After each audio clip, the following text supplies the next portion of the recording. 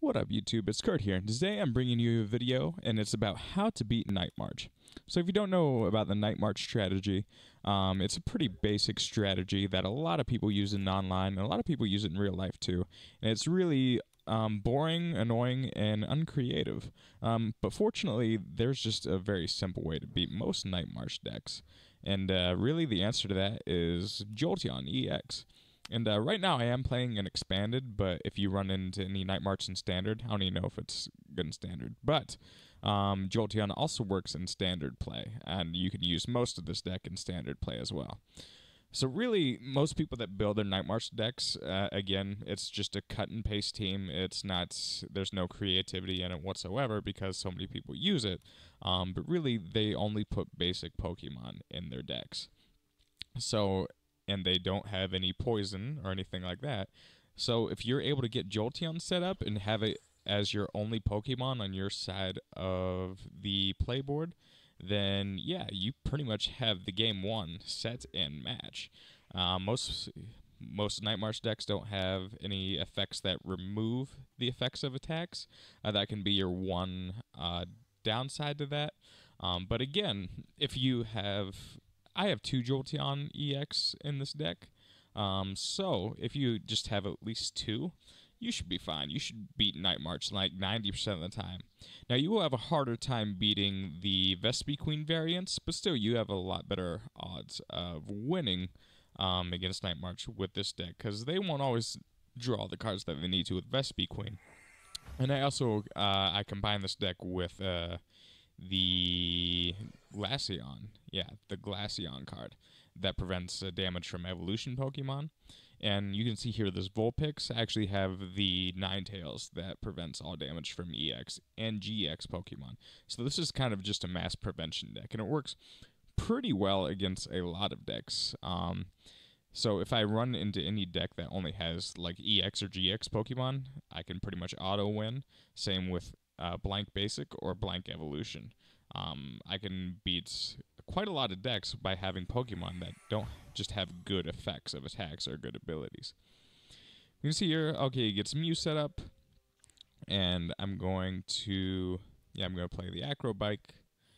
Uh, I'll take Electrode. Electrode's really nice. It has the Buzzap Thunder, so if you need help getting set up, uh, Electrode can help out with that a lot and can make things really easy, especially if you go first and you get Electrode down, um, and that helps you get up your attack right away. But here I don't really need to use it. I get the special energy right away. Um, not a big surprise there. Use Beacon, so I'm going to try to grab Jolteon just in case, and my other Jolteon just in case, and grab my Voltorb. So just in case I need to evolve that Voltorb.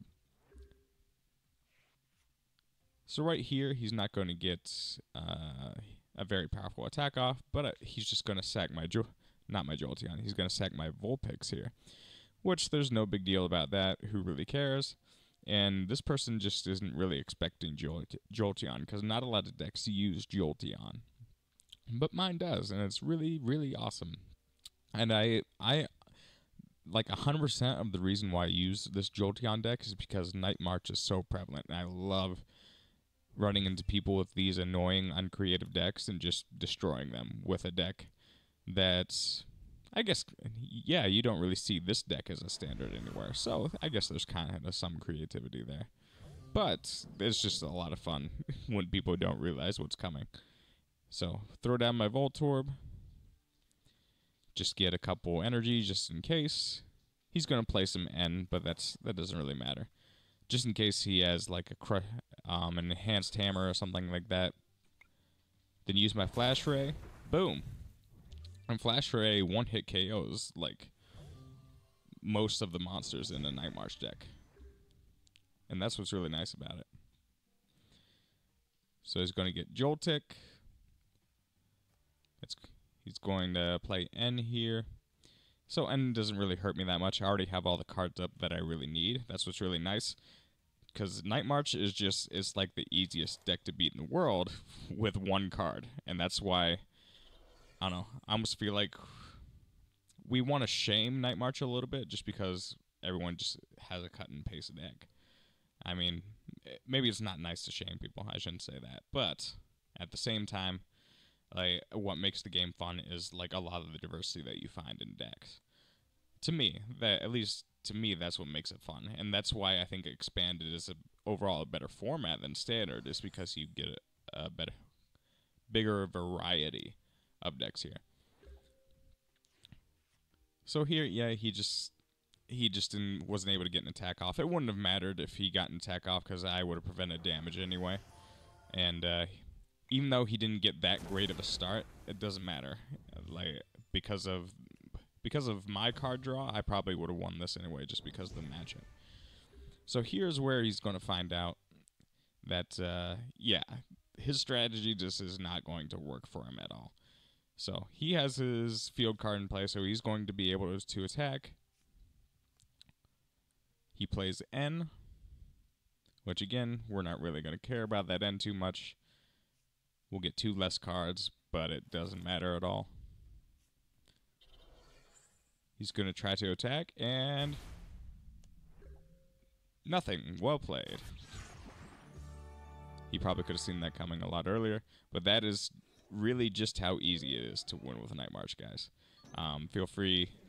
Yeah, I'll try to export this deck and then or something like that, and let you guys let you guys try it out. So I appreciate it, guys. Feel free to like and subscribe, all that good stuff. So peace.